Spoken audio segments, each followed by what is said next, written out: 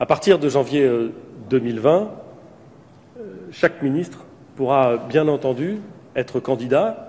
Je précise immédiatement que la règle selon laquelle, lorsque l'on est ministre, on ne peut pas cumuler sa fonction de ministre avec la tête d'un exécutif local restera valable.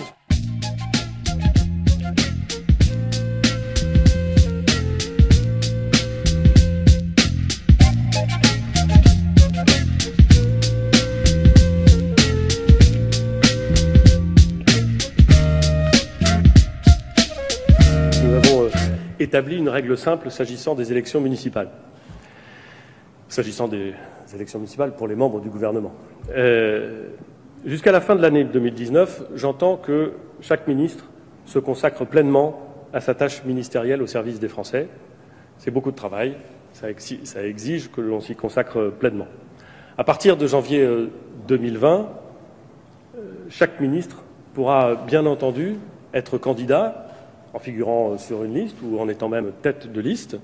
Euh, nous sommes attachés avec le président de la République à cette possibilité, pas une obligation, mais à cette possibilité pour euh, les membres du gouvernement de se confronter, parfois pour la première fois, parfois euh, une fois de plus, au suffrage universel et d'avoir la possibilité d'être des acteurs de la vie publique et de la vie politique pleinement et en passant par le suffrage universel.